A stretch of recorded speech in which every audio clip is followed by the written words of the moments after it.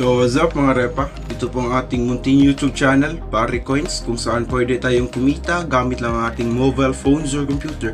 So, ano pang hinihintay nyo?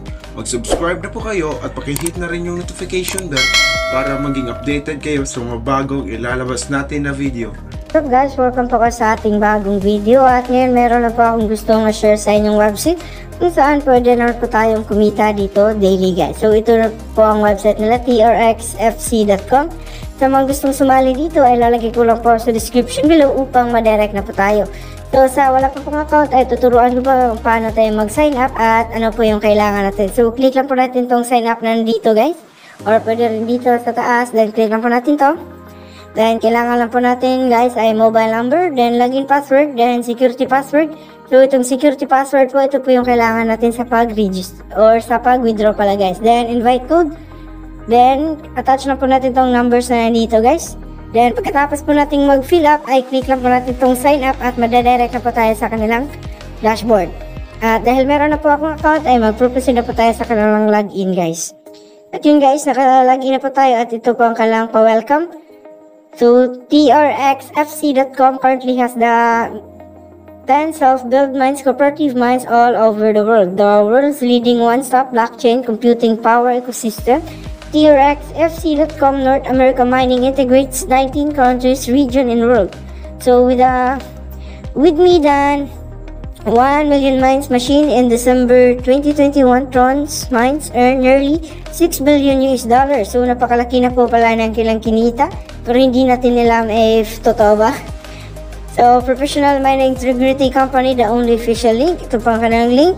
So, company legal white paper. Sa mga gusto kong magbasa ng lang white paper, pwede po natin i-download yan na nasa PDF file po. At ito po ang group link na pwede po natin mag, pwede po tayong mag-join dyan at mag-ask ng mga question. Uh, ito naman po ang kanilang customer service na nasa Telegram.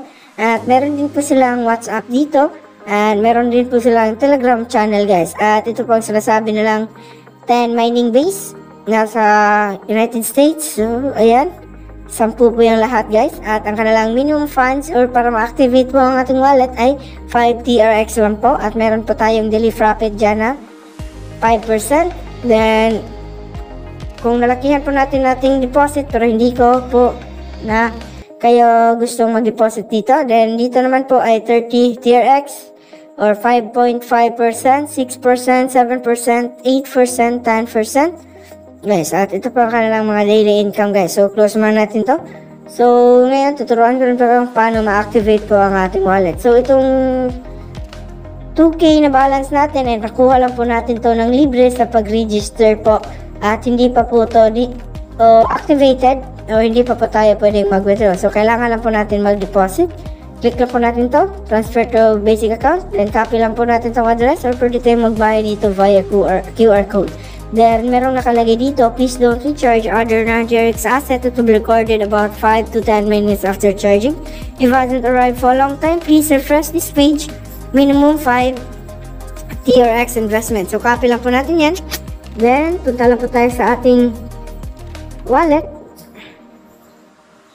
Pin lang muna ako guys. Then, click lang po natin itong send. Then, paste lang po natin. Then, lagay lang po tayo ng amount. 20 TRX or 62 pesos. Then, click lang po natin itong continue. Then, confirm. Pin lang muna ako guys. Yan. At hintay lang po natin na mag-transfer complete po yung ating transaction. Yan, sa ating nakita dyan, pending pa po. At yun, mati, complete na po. At negative 20 TRX or 62 pesos. Then, pagkatapos po nito, ay balik lang po tayo dun sa website nila. And click lang po natin itong recharge complete. At hintay lang po natin na dumagdag sa ang ating na-deposit sa ating total balance.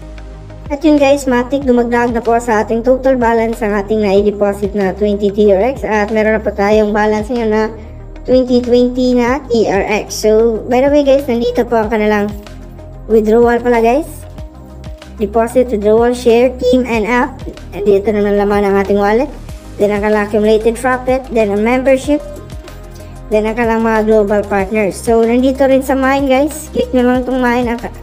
Kung gusto nyo mag-change ng password, at meron po sila ditong app guys na pwede po natin i-download. Then, pagkatapos po na pumasok ng ating na-deposit, ay click na po natin itong trading. Check lang po natin. So, ayun.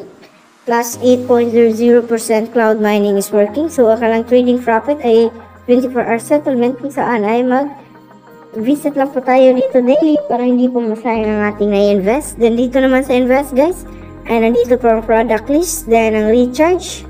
Then, ang investment. So, currently, wala pa po sila mga product list na pwede po natin bilhin. Then, dito naman sa share list kung saan pwede nating madoble po ang ating kita dito sa pag-invite lang ng friends. Guys, or paggamit ng invitation code. So, sa pag gustong gamit ng aking invitation code, ay lalagay ko na po sa description below upang madirect na po tayo. At sa mga meron na pong account dito, ay pwede nyo pong ilagay sa comment section upang magamit rin ng iba, guys. At dahil nakapag-recharge na po tayo, it means activated na po ang ating wallet. At pwede na po tayong mag-withdraw. So, click lang po natin itong withdrawal. Then, lagay lang po tayo ng ating daily quota na 1. 1, then address. Punta lang muna tayo sa, dito sa ating wallet. Then, click lang po natin itong receive. Then, copy lang po natin yan. Then, paste lang po natin dito. Then, pagkatapos, click lang po natin confirm. Then, submit success. At hintay lang po natin na pumasok sa ating wallet ang ating na-withdraw na 1 TRX, guys. At yun, guys, matik pumasok na po ang 1 TRX na ating na-withdraw. At nandito na po sa ating history. At uh, plus 1 TRX or 3 pesos. So, not bad. So, dapat lang po tayong mag-visit dito or yun sa website nila para hindi po masayang po ang ating na-deposit. So, ito lang po para sa video na to and I hope nasundan niyo po ako. And kita-kits para sa susunod video guys. Thanks for watching guys. Peace out.